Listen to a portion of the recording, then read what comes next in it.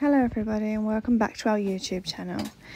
And in this video I am opening up my children's bath toys to see what's inside. Oh, it's a shocker. Look at that black mould. They haven't even had these very long and this has built up. Look. I knew that there would be uh, black mold to an extent, but I never knew that it would be this bad. Look, look. Because, like I said.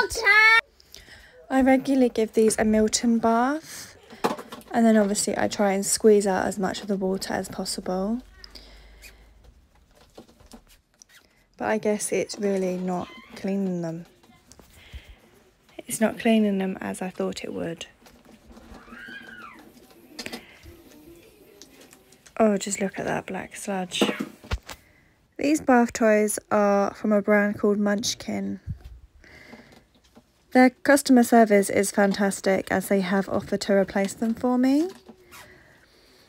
They Their care guide for them was to, um, after every use, squeeze out all the water, which is what I do. Um, but that hasn't stopped the mould from building up because you can never completely get all the water out. There will always be traces left behind, and which over time will cause this black sludgy stuff to build up.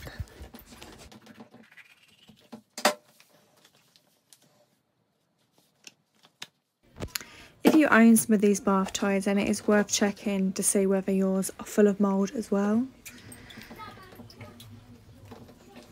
I have now chucked them in the bin and I won't be replacing them.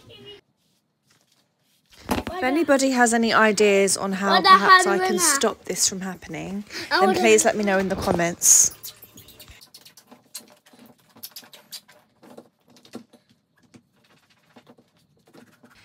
If you found this video helpful, then please give me a thumbs up and subscribe to my channel. Thumb up. Thank you for watching. Thank you for watching.